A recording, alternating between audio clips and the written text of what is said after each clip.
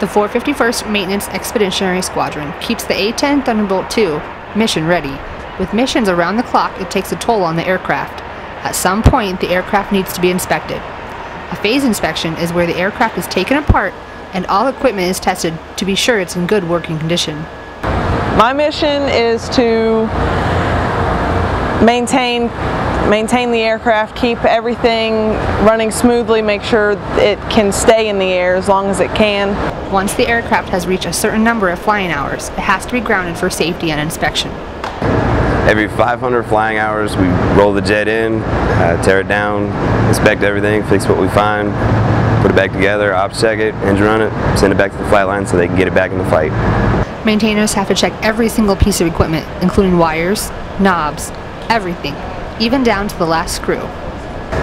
If we don't do our job, the jets can't fly and the mission doesn't get accomplished. Specialist Crystal Madriz, Kandahar Air Base, Afghanistan.